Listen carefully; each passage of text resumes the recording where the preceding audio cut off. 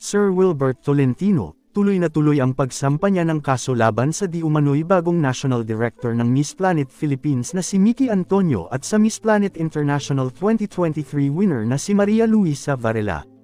Narito ang buong detalye.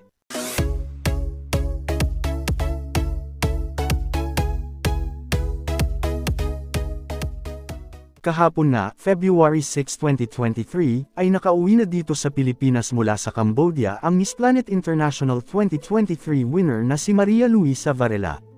At kahapon din ang araw kung saan na-process ni Sir Wilbert Tolentino ang papeles para sa pagsampa ng kaso laban kina Miki Antonio at Maria Luisa Varela, dahil sa nagawa nilang di umano'y panluloko at pambabastos sa kanya.